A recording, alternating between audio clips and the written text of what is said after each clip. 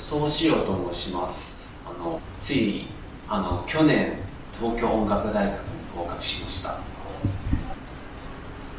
の日本のきっかけにしてあの一人暮らしにする人は多分あの多いかと思います。実はあの私もその中の一人です。あの日本に生活してからあの今まで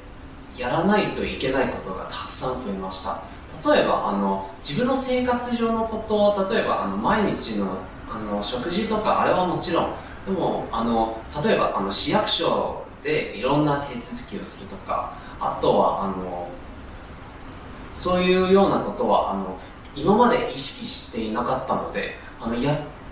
初めてやった後はあなるほど。あの今まで家族が全部そうしてくれたという思いがあってあのあらかじめあの家族への感謝を伝えたいものです。あとは本当あのいろんな国にあの大きな文化の差があると思います。例えばエスカレーターに乗った時はあの右じゃなくてあの日本のと関東の方があの左に立つ方があの普通のやり方ですね。それは最初びっくりしました。あの餃子は中国とかあの香港のようなところに対してはあのやっぱり主食ですね。でも日本の場合はあのおかずとして食べられているのでそれはあやっぱり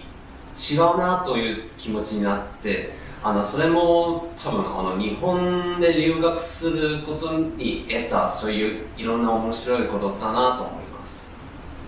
私にとってはやっぱりあの日本の音楽が大好きなんですね。あの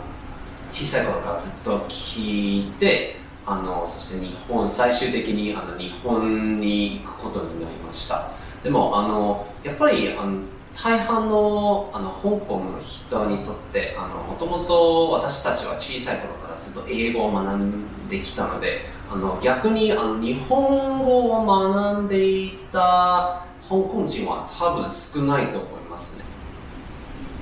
私が言いたいことはとりあえずあのたくさん日本語で喋ってください。それが一番大事です。たとえ間違ってもあのそれを言うのが大事なんですあの言語というのはあの使えば使うほどうまくなれるものなので誒歡迎大家喺未來係日本留學嗰陣嚟馬蘭畢業到日文啦。